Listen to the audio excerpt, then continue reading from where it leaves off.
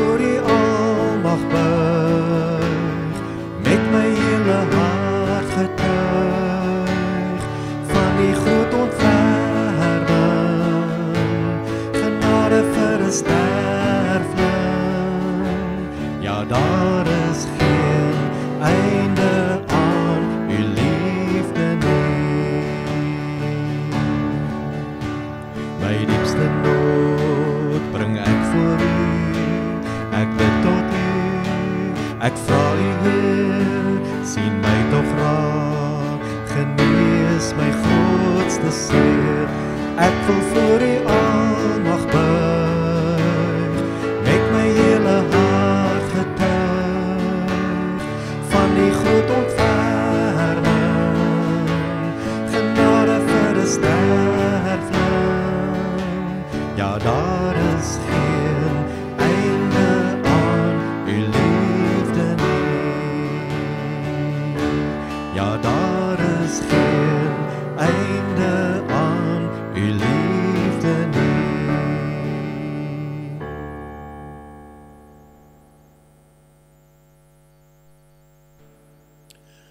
Ons is besig met die Onse Vader. Onthou die eerste 3 gaan oor God se naam, sy wil en sy koninkryk. Maar die tweede 3 gaan oor ons, oor ons aardse brood. Dit gaan oor ons verhoudings, met ander woorde, die vergifnis wat ons moet gee. Nou is ons by die 6ste gebed. En dit gaan oor ons geestelike lewe, ons siel, soos wat ek net nou genoem het. Wat in bewaring moet bly, want ons siel is die belangrikste ding wat bestaan want dit is wat ewige lewe toe gaan. Nie eers ons liggaam en dit wat met ons aardse liggaam gebeur is so belangrik nie. Nou liewe kinders, as ek 'n karretjie kry, dan is daar sekere goed vir hierdie karretjie wat sleg is. Ek kan hierdie karretjie daar buitekant in die son sit. En dan raak hy vol stof en hierdie karretjie sal verbleik dat hy naderhand heeltemal geel is want die son gaan hom brand. So sekere goed vir die karretjie is sleg. En as jy nou 'n dogtertjie is en jy 'n pop, dan is daar sekere goed wat vir hierdie pop sleg is, né? Nee. Die poppie se hare moet dalk bietjie gekam word om beter te lyk, maar hierdie ou poppie kan ook wanneer jy haar buitekant laat lê, gaan die ou velletjie ook naderhand geel word. En as 'n mens sommer die poppie enige plek laat lê, gaan sy vol stof word en die rokkie kan vuil word. Nou so, liewe kinders, broers en susters, is daar sekere dinge wat sleg is vir ons. En daar sekere dinge wat maak dat ons nie meer so goed is nie, nie meer so blink is nie, nie meer so gesond is nie. Dit maak ons siek. En dis teen hierdie dinge wat die 6ste bede ons waarsku. As ons bid, laat ons nie in versoeking kom nie, maar bewaar ons van die bose. Is dit 'n gebed om te sê, maak ons asseblief geestelik gesond en mooi. Julle moet onthou dat dit in hierdie bede nie eintlik gaan oor die Satan as persoon nie. Want hier staan nie laat ons of bewaar ons teen die bose een nie. Hier staan bewaar ons van die bose. Nou wat beteken die woord bose? Bose is eintlik 'n Griekse woord wat sê seermaak. Met ander woorde, daar's sekere dinge wat my lewe kan seermaak. Dit gaan nie oor die Satan in die eerste plek nie. Hier staan nie uh die ons moet bid, Here bewaar ons teen die Satan se kerk of bewaar my daarvan dat ek nie betrokke raak by okkultiese goed nie. Nee, in hierdie gebed gaan dit daaroor dat ek teen sekere dinge wat in my lewe gebeur bewaar moet word. En die die woord vir bose het ook ander betekenisse. 'n Bose lewe is waarteen ons bid. Dis 'n lewe wat ons doodmaak. Siek is 'n ander woord. Daar's selfs die woord verlate. Boos beteken ook verneig, gemeen, agterbaks, skadelik of dit beteken selfs hartseer. Met ander woorde, die wat 'n bose lewe het, is eintlik op pad na 'n hartseer lewe toe. En ek het nou gesê dit gaan nie oor die oor die oor die Satan self nie, maar Kom ons gaan vind 'n bietjie uit wat is sy name. Ons het net nou gesing ek roem u naam Here en as ons sy naam roem, dan leef ons 'n mooi lewe en as ons gesond.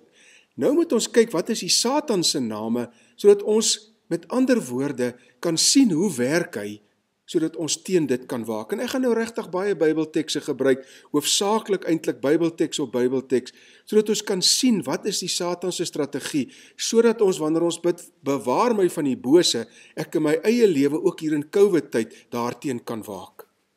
Die Satan is sy naam en dit beteken teenstander.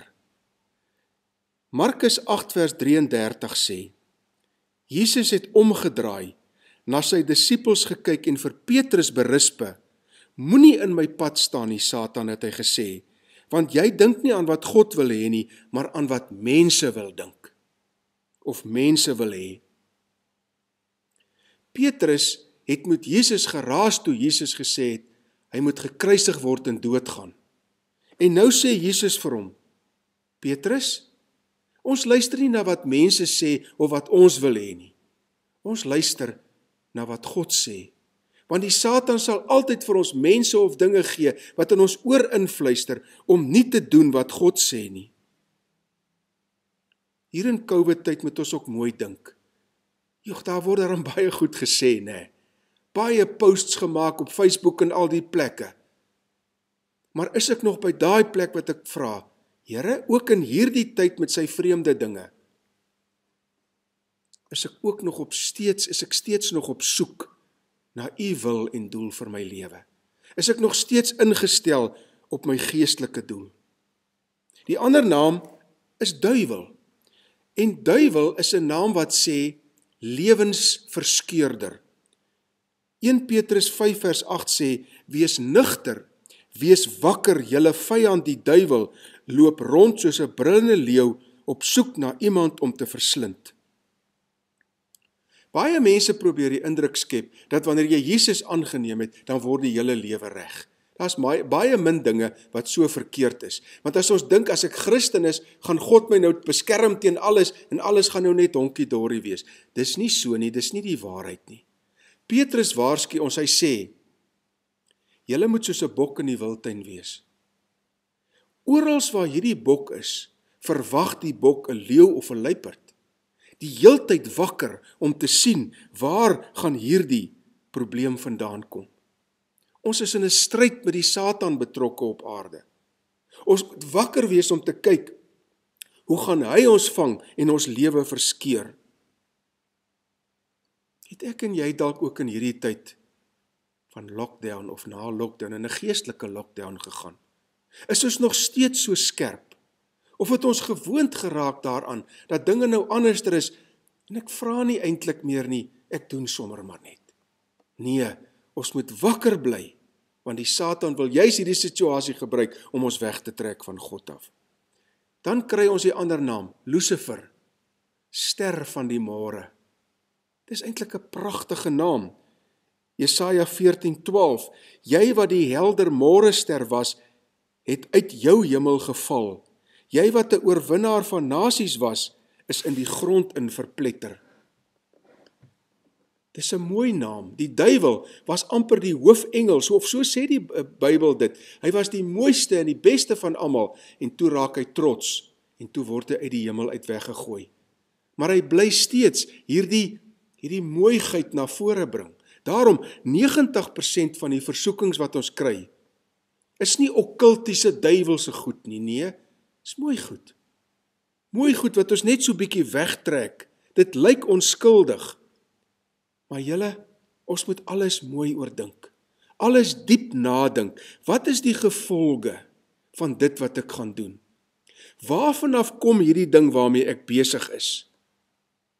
Want jy sien, die soeke na welfaart, die soeke na voorspoed, die soeke om kop bo water te hou in hierdie tyd kan dalk van so aard word dat ek so fokus op my wêreldse oorlewing dat ek aanklank vind by die Satan se versoekings om voorspoedig en lekker te lewe.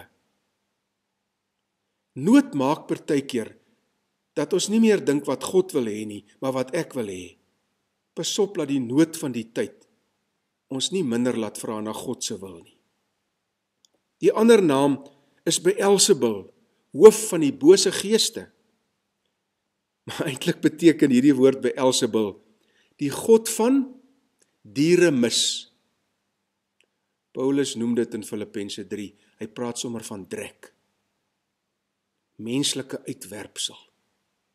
Hierdie Beelzebul, so staan in Matteus 12 vers 24. Die Fariseërs het hiervan gehoor en hy sê eh, hulle sê hy dryf die bose geeste uit elkeen met die hulp van Beelzebul die aanvoerder van die bose geeste. Wat is die gevolge van waarmee jy besig is in jou lewe? Die satan wil graag goed in ons lewe inbring. Mooi lyk goed lyk voorspoedig vir myself lyk maar die gevolge daarvan is mis gemors uitwerpsel dit waarmee jy tans besig is. Gaan dit lei na mooi dinge? Gaan jou siel bewaar wees? Gaan jy groei in jou lewe met die Here? Of is jy so besig om nou uitsonderings te maak dat na Covid gaan jy sê wat het ek gedoen? Ek is so ver van God en van die lewe af. 'n Ander naam is Belial. Dit beteken niks werd God. 2 Korintiërs 6:15 Hoe kan daar eensstemmigheid wees tussen Christus en Belial? Hoe kan 'n gelowige dieselfde belange hê as ongelowiges? Vriende, sekere goed in die lewe is lekker en mooi, maar dit beteken niks, dis soos gras wat vergaan.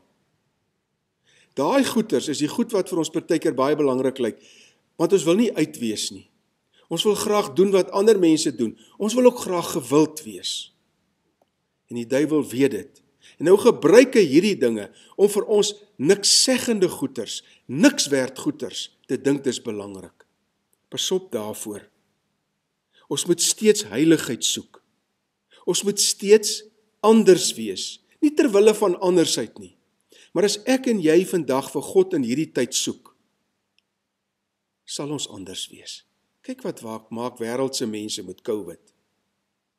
Kyk wat maak baie van ons regering se mense met selfs hulp wat gegee word, geldelike hulp en hulle dit misbruik.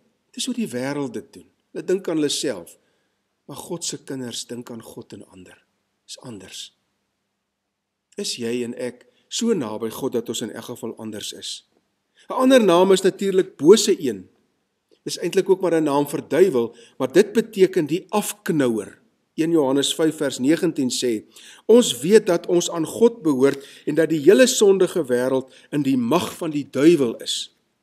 Dis 'n Griekse woord vir korrupsie. Dit wat ons nou in hierdie land van ons so baie het. Die duiwel korrupteer, roes alles. Hy laat hy sy hy, dit laat sy die oorspronklike bedoeling verloor. Richard Foster sê daar's drie afgode van die duiwel: seks, money en power. Die mooi van seks word weggeneem omdat ons dit buite die huwelik beoefen en dit vernietig al die verhoudinge van huwelike. Geld word ons afgod want ons sal alles doen vir geld. Dit oorheers ons lewe. Ons dink nie meer geestelik nie en dan natuurlik die mag, nê. Nee. Ek is so daarop ingestel op mag en belangrikheid dat ek eerder op ander mense se lewe sal trap as om hulle te dien.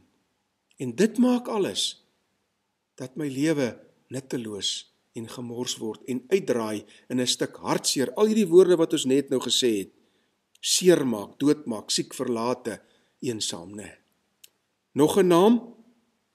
Hy's die verleier, die twyfelsaaier. Nou, vriende, dis 'n baie goeie ding om partykeer te sê, as ek twyfel, moet ek dit nie doen nie. Aan die ander kant moet ek ook sê, as ek twyfel, moet ek dit nie juis doen nie. Die duiwel is die vertwyfelaar. So, ons moenie laat twyfel ons lewe regeer nie. Ons moet na God toe gaan in gebed en by hom hoor, Here, wat kan ek doen? Ons sien dit by Eva in die paradys, dis 'n mooi voorbeeld waar die bose een die verleier kom en hy vra vir haar net vra. Pasop dat die huidige tyd waarin ons is en ek en Sandra praat gister daaroor. Die abnormale het nou die nuwe normaal geword. En dit is nie noodwendig verkeerd nie, want ek dink ons moet nuwe goeders doen in die toekoms, maar pasop dat ons nie gewoond raak aan abnormale dinge. Daardie dinge waarin die duiwel ons inlei wat nie tot goeie dinge kan lei nie. Dink mooi, dit waarmee jy besig is hier in COVID tyd. Is dit nie dalk die begin van 'n klomp abnormale goed wat vir jou 'n slegte plek gaan bring nie? Die duiwel is ook die aanklaer van gelowiges. Sagaria 3 vers 1. Die Here het my 'n gesig laat sien. Ek het die hoofpriester uh Jesus ag Yeshua voor die engel van die Here sien staan en regs van hom het Satan gestaan besig om Yeshua aan te kla. Die Satan is so arrogant. Hy kla die hoofpriester aan. Hy sê by God: "God, het jy gesien daai kind van u wat so goeders doen hy?" Moenie twyfel nie. As jy God se kind is, glo dit en aanvaar dit. As jy dit nie glo en jy twyfel, gaan net weer na God toe en sê: "Vandag sommer nou, Here Jesus, ek wonder of 'n kind van U is. Ek wil net weer 'n slag my toewyding en my kindskap van U hernie. Hier is ek, vat my." Maar ek as ons mos nou ons lewe vir die Here gesê het, sê die Bybel, Jy hoef nie te twyfel nie. God se liefde is groter as jou sonde of enigiets. Hou op twyfel oor die geestelike toekoms. Hou op twyfel oor môre en oor môre. En daarom die laaste een, hy's die owerste van die wêreld. Dit beteken hy maak ons aardsgesind. Hy laat ons aardsgesind dink. Johannes 12:31 Nou kom die oordeel oor hierdie wêreld. Nou sal die owerste van hierdie wêreld uitgegooi word buitentoe. Die grootste gevaar van COVID, myns insiens, is dat ons materialisties begin dink. Ons dink so aan my huis, my werk, my goed, my gesondheid dat ons nie regtig met die dinge daarbo dink nie. Is dit so? Pasop daarvoor vir die tydelike dinge. En daarom is hierdie gebed eintlik 'n gebed wat sê God bewaar my van die versoeking om uit benoudheid van die oomblik aards te dink en leef en nie my siel en my gees meer te versorg nie. Jy sien uiteindelik sal hierdie bose lewe in die vuurpoel gegooi word en verbrand soos Korintiërs dit sê. Ons praat so baie en ons sien so baie, ek sluit af in hierdie tyd van die wêreld wat vol rommel en riool en gemors is. Jy kan nie eers meer ons dorp rondry nie en elke tweede, derde straat dan ryk jy hoe hoe, hoe stink dit. Maar dis elders in die land ook so. Dis nie mooi nie. Maar ek en jy moet kies teen die riool en die rommel wat Satan in ons lewe wil inbring. Ons moet 'n waterpoel wees wat mooi is, wat hierdie goeters nie inneem nie. En ek weet die waterpoele kan ons nou nie keer nie, maar ek en jy het 'n keuse. Sekere goed in die lewe is sleg vir ons. Stof, roes wat kom. En ek en jy moet die Here vra. Hemelse Vader, bewaar my van 'n bose lewe, want ek wil ek wil gesond lewe. Ek wil volledig lewe, ek wil sterk lewe. Bewaar my van 'n verkeerde leefstyl. Kom ons bid. Hemelse Vader, daar's soveel dinge wat na ons toe kom. Daar's soveel dinge wat die Satan op ons pad gooi, die wêreld in my eie begeertes waarby hy aansluit, wat die lewe wil siek maak. Ek bely vanmôre dat ek ook materialisties geraak het. Ek dink so aan die toekoms in aardse terme dat ek nie meer die ewige lewe en my siel regtig na U toe bring om te bewaar nie. Help my om 'n slag weer te weet. Daar is 'n ewige lewe, 'n siel wat ewig is en help my om dit vandag elke dag te versorg teen hierdie leefstyl. Amen. Ons gaan afsluit met 'n lied. 'n pragtige lied wat sê ek volg nou Jesus. Want jy sien, as ek nou Jesus volg, dan stap ek daai pad wat my siel, wat die belangrikste in my lewe is, gesond sal maak. Kom ons sing dit lekker hartlik saam met blydskap.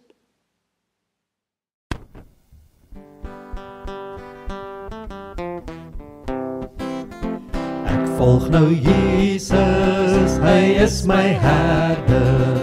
Ek volg nou Jesus, hy is my Here. Ek volg nou Jesus, is my koning. Hy lei my nou elke dag gedurig deur. Hy leer my steeds meer van sy bedoelings. Hy leer my steeds meer van sy beloftes. Hy leer my steeds meer van sy beplanning. Hy leer my nou elke dag gedurig deur. Volg hom rustig, hy weet hoe verder. Ek volg hom rustig, hy weet mos alles. Ek volg hom rustig, hy weet die beste. Hy lei my nou elke dag gedurig deur. Hy wys my steeds meer op al sy gunste. Hy wys my steeds meer op al sy gawes. Hy wys my steeds meer op al sy liefde. Hy lei my nou elke dag gedurig deur. I have decided to follow Jesus. I have decided to follow Jesus. I have decided to follow Jesus. To turning back, praise the Lord, no turning